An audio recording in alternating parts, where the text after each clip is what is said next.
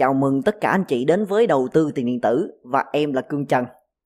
Thì concept mát hôm trước em có chia sẻ với anh chị bây giờ đã X10 thì anh chị xem là xếp mát hai ngày trước thôi đã X10 tài khoản và bây giờ em thực hiện video chốt lời để cho anh chị thấy là đầu tư tiền điện tử cung cấp cho anh chị những kèo cực kỳ chất lượng X10, X20 chỉ trong một vài ngày.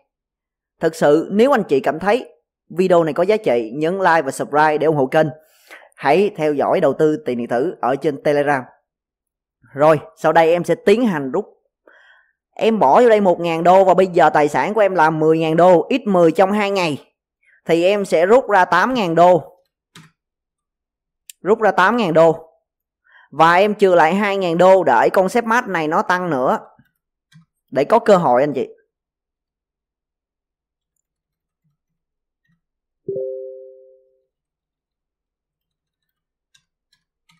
8.500 đô. Đây, kiếm tiền không khó đối với đầu tư tiền tử. Thì nếu anh chị nào mình muốn tham gia khóa học của đầu tư tiền tử và bí kíp săn gem của em, thì hãy nhấn vào đường link đăng ký khóa học ở bên dưới.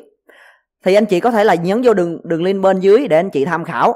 Rồi, thực sự không quá khó đối với đầu tư tiền tử, đúng không anh chị? Ít 10 trong 2 ngày. Rồi thì cái video của em á,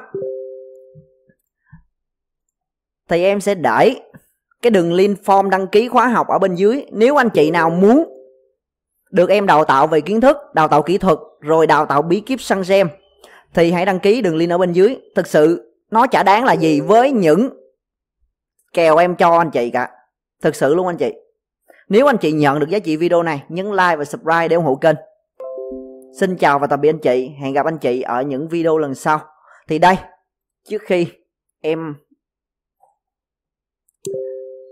trước khi em à, kết thúc video này thì em sẽ show cho anh chị coi là ngày hôm nay em chốt rất là nhiều kèo và là kiếm được 13.000 đô.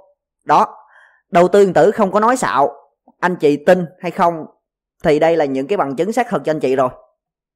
Khóa học của em cực kỳ giá trị đối với anh chị trong thời gian sắp tới, nếu anh chị cảm thấy muốn tham gia khóa học, nhấn vào đường link bên dưới. Rồi, xin chào và tạm biệt anh chị. Hẹn gặp anh chị ở những video lần sau.